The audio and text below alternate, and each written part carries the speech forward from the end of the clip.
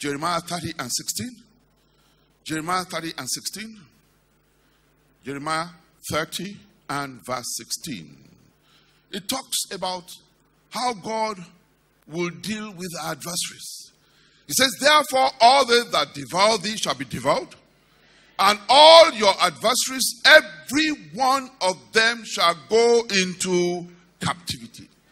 They are physical adversaries, spiritual adversaries, those that are opposing that which God wants to do in your life, even before the end of this year.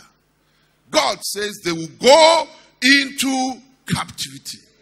So say, Father, in the name of Jesus Christ, every opposer of my destiny, every antagonist of my blessing, every attacker of my future, every adversary, every foe of my destiny, of my children, of my life, of my business.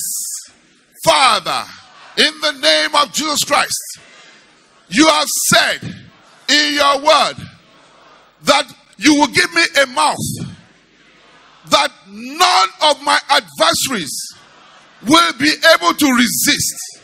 So, Father, I open my mouth right now and bind and put a stop to every trafficking of adversaries in my life. I say thus far and no more. I bind you.